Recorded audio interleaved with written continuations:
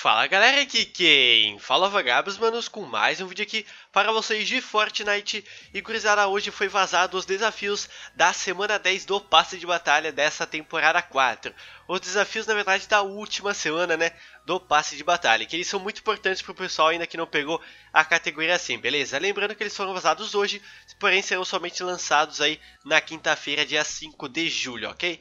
Bom, vamos lá então aqui para os desafios. O primeiro deles é para você vasculhar baús no cruzamento da sucata, sete baúzinhos lá no cruzamento.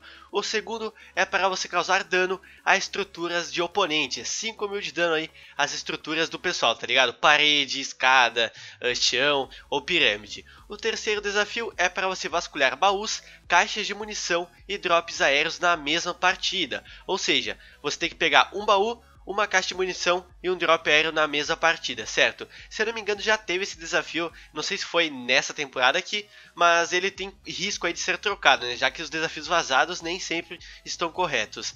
E o quarto desafio, assim como o terceiro, também já teve um bem parecido, acho que até igual, né? Que é para você sobrevoar através de anéis voadores, 20 anéis, que eles ficam aí jogados no mapa quando você sai do ônibus de batalha, você tem que atravessar dentro desses anéis, certo? Bom, vindo aqui agora para os desafios que você ganha 10 estrelinhas de categoria, ou seja, uma categoria para cada desafio aqui. O primeiro deles é para você vasculhar entre títulos de filmes, né, que é aquela recompensa que tem toda semana. O segundo é para você eliminar oponentes, 10 oponentes. Não precisa eliminar oponentes com certa arma, é apenas eliminá-los, beleza? E o último desafio é para você eliminar oponentes nos campos fatais, 3 oponentes lá embaixo na fazendinha, manos.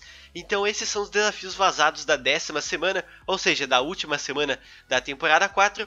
Mesmo se você já pegou o ômega, é importante fazer desafios aí que serão lançados dia 5, porque você ganha XP e assim pode upar o seu nível dentro do jogo, beleza? Lembrando que nem sempre os desafios vazados estão corretos, por isso que eu sempre espero até realmente sair o desafio no dia 5 aí de, de julho, para fazer um vídeo dando dicas simples de como resolvê-los, beleza? Então é isso galera, valeu, falou, aquele abraço e eu fui!